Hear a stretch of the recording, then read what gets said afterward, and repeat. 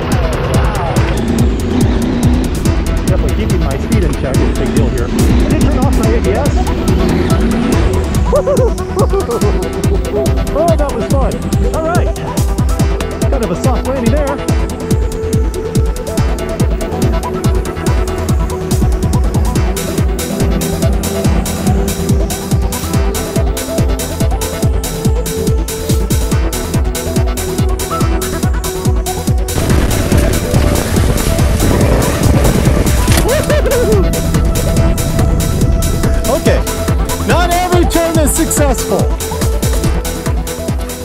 When we go out adventure riding, we always talk about the kind of gear we wear, the jackets, but if you're gonna get stupid, if you're actually gonna go on the trail, if you're gonna push your limits, riding in adventure boots or adventure riding gear is not enough. You've got to have the right stuff. So I'm going to show you, I'm going to do a little striptease here and show you what's underneath all of the gear that I'm wearing. To start off with, I am wearing the, uh, the Mosko, the pants. I didn't wear the jacket today because it was warm. It wasn't that wet out, but I do have the overpants on. Here's what's underneath. I have the armor here, uh, the elbow armor, which is just an inexpensive armor. It's about oh, $20 or so. And what I'm looking for is to make sure that it's got plenty of padding, it's got hard protection on the outside. I'm not gonna just wear some armor that floats around in the jacket. The problem is this, if I fall down on the trail, if that can move around, it's not always in the right spot.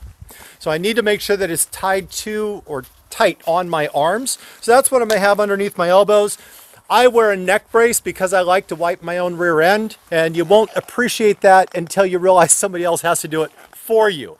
And that's what the collar's for. The first time you put one on, you're gonna feel like it's restrictive. It's only until you get accustomed to it. This is worth it. So I wear a full collar every time I go out in the dirt to push the limits. The, the chest armor I have here is the Leatt brace. The Leatt brace I wear because it's the only chest armor that has a CE rating. Most of the guards that you buy that are dirt bike are just roost guards. It's just the guy in front of you that's kicking out a bunch of rocks, doesn't pelt you in the chest and hurt you. So this has impact protection. Also, I like the elbows or the shoulders that have some movement. And unlike the elbow where I'm worried about it impacting and shifting, with the shoulder, I like to have some shift so that when I impact, it's not a direct hit. I don't prefer the, the jackets that you pull on over the top. So I'm a huge fan of that. Now, as far as pants go, if you come in, or boots go, if you come in a little bit closer, you'll see I am not wearing adventure boots. These are Tech 7s. They're one of my recommendations for adventure riders who are getting into riding. They're very comfortable. They're small enough at the shin that you can get pants over the top, but they're an actual off-road advent or off-road boot. If you have an adventure boot, if you like walking around in it, it's the wrong boot. It should not be comfortable. It needs to be stiff. It needs to restrict movement because if you come off one of these on a trail, it's going to make a mess out of things. The pants that I'm wearing, just give, give you an idea, the reason I'm wearing the Mosko pants is they have a huge amount of venting. And one of the early mistakes you'll find if you go off-road is you dress warm because it's cold out, but after about three turns, you're actually too hot. All right, now let's get excited. Underneath these, these are just a shell. So they have waterproof. And the other thing about the pants that I'm really uh, a big, that I think is a big deal off-road is this inside panel right here needs to be leather. And see, leather is really the only thing that sticks to the bike that gives you good grip. If you have nylon on the inside, which are inexpensive, or a lot of your, your street bias riding gear will have nylon and that'll wear through but also gets really slick it moves around this way I don't have to add any sticky stuff to the bike so I do like that on the inside The knee guards that I'm wearing are not just a knee protection. These are articulated knee braces. Uh, when you think about the amount of injury you can take uh, coming off off-road, it's really quite worth it. Otherwise, you definitely need very full coverage all the way down the shin, all the way up the, the leg at the top. And let's go and pop these off real quick and show you kind of some more stuff. All right, now the other uh, the other part of armor that I wear underneath are these are just a, a padded short. These have armor protection, especially on the hip and on the sides, but it's the butt that matters the most. I've got a protection that rides right up here on my tailbone. This will keep me, if the bike does buck up and hit you in the, in the tailbone, it can break your tailbone.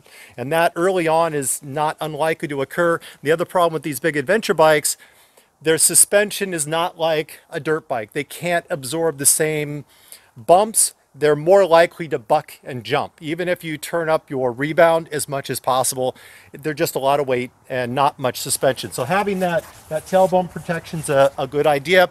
These are waterproof socks. Uh, most off-road boots, in fact, as far as I know, all off-road boots are not waterproof, and that's a good thing. It allows you to sweat through. It helps them stay cool. But the waterproof socks are going to help you uh, just keep your feet a little more comfortable throughout the ride. My gloves are not going to be a heavy armored street glove. I'm not worried about leather. I'm not sliding down the road. If I'm on the trail, I want something flexible.